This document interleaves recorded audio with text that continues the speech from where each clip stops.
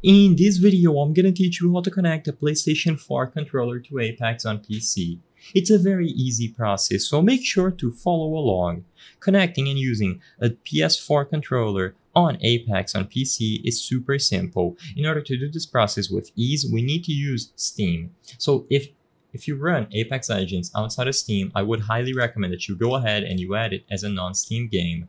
The reason why we're going to be using Steam for this method to set up the controller is because Steam has a feature called Steam Input. Steam Input will help your computer detect any sort of controller connected and automatically set it up to be used in any games, including Apex Legends. So the first step once you are done adding the game to Steam is connecting your controller to your PC. You can connect your DualShock or PlayStation 4 controller to your PC using a cable or wirelessly through Bluetooth, for example.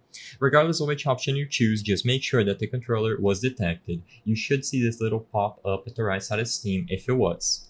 Now, click on these little settings icons over here at the right side of Apex Legends, and when you click on this cogwheel, go to Properties. Inside of properties, switch over to the controller tab, and the most important thing here is that if it is set to use default settings, make sure you switch it to enable Steam input. This is going to enable the feature that I mentioned previously in this video, and Steam input will be turned on for all sorts of controllers, including the PlayStation controllers that you are using.